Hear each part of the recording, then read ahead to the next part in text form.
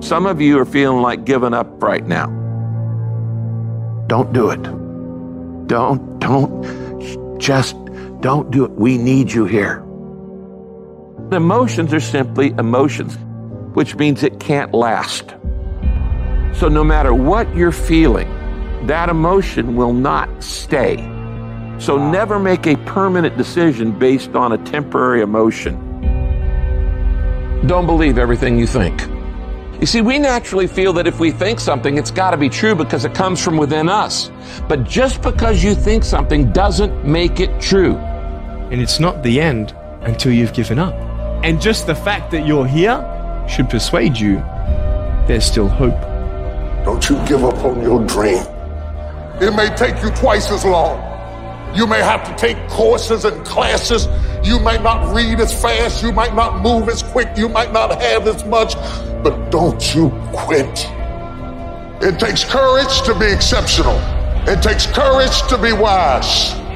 It takes courage to be rich. It takes courage to be educated. It takes courage to be knowledgeable because the moment you do, but you, you don't talk like you, oh, you don't got, forgot where you came from. Look at you, talking. it takes courage.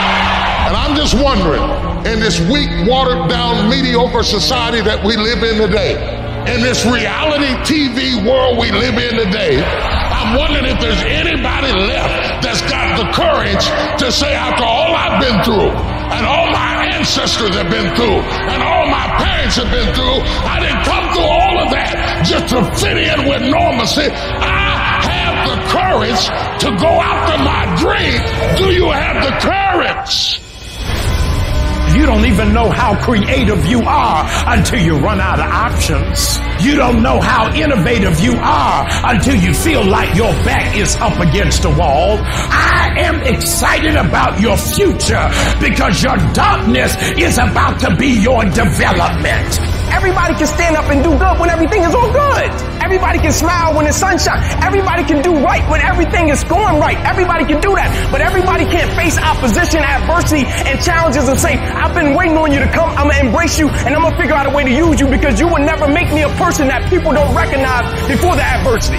That's made up in my mind before the battle even happened. Because I know I ain't running. I know I ain't quitting. I would rather aim for the stars and not hit them to not aim at all. I would rather go after it and not get it than not go after it at all. I'd rather try and fail than not try at all. I don't want to live with the idea, wonder what would have happened had I done more with my life. I'm going to go for it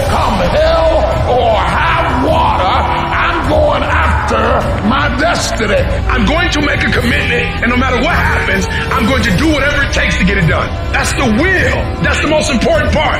Like you're seeing people like in the midst of opposition, they're like, that's why I play the game. I've been waiting on the opposition. Where you been? This is why I signed up to do it. I was waiting on it so I can see what I'm made out of. I just need you to keep moving. I need you to make up in your mind that the only way you can lose is if you quit. I just need you to keep going. If you don't have the will to get through all the stuff that you have to get through to get to the other side, the will, you are strong enough to climb any mountain.